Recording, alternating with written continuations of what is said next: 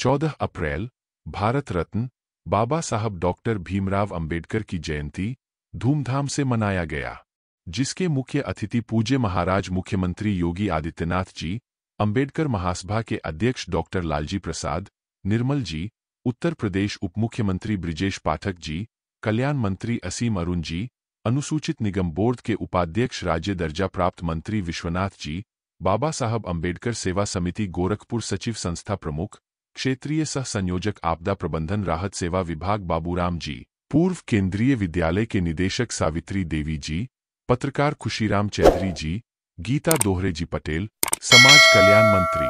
असीम अरुण जी उपस्थित रहे।